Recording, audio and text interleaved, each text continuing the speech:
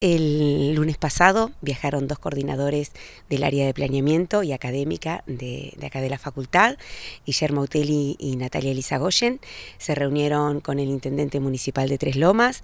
la secretaria de gobierno y la directora de educación y se eh, pudo firmar el convenio en el cual eh, eh, formamos, creamos una extensión áulica en la ciudad de Tres Lomas y la implementación de una carrera que es la Tecnicatura Universitaria en Bromatología y Medio Ambiente. A principios de año, los, primeros meses, se acercan desde el municipio Alejandra Martínez, la directora de educación, y nos manifiesta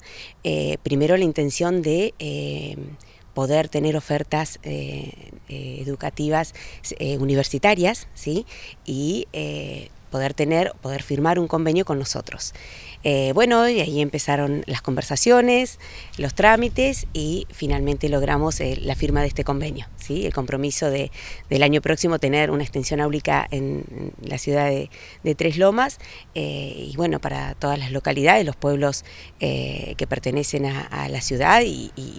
todo aquel que se quiera sumar. Va a ser de manera presencial, totalmente gratuita para los estudiantes, se va a dictar en la localidad de Tres Lomas, en el centro universitario que posee la ciudad. Eh, eh, todavía no tenemos la preinscripción, o sea, todavía no se pueden preinscribir, dado que estamos con los últimos, eh, con la última documentación por aprobarse en nuestro rectorado. Y finalmente ese paso, que es ahora sobre mediados de este mes, ya va a tener la posibilidad el aspirante o, el estudiante que desea formarse en esa carrera, inscribirse, acercar la documentación correspondiente, que informaremos en su momento, y el año próximo, en marzo, dar inicio a, a la carrera, al cursado de la carrera. Estamos muy contentos, la facultad está creciendo mucho, es una nueva extensión eh, que se suma, sumada a otras, el año que viene. Eh, podemos llegar al número de seis extensiones áulicas en total, eh, así que bueno, eh, eh, es, una alegría enorme, un crecimiento,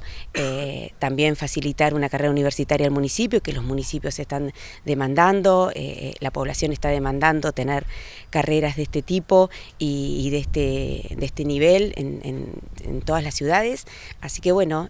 con muchos desafíos, mucho crecimiento, nos expandimos,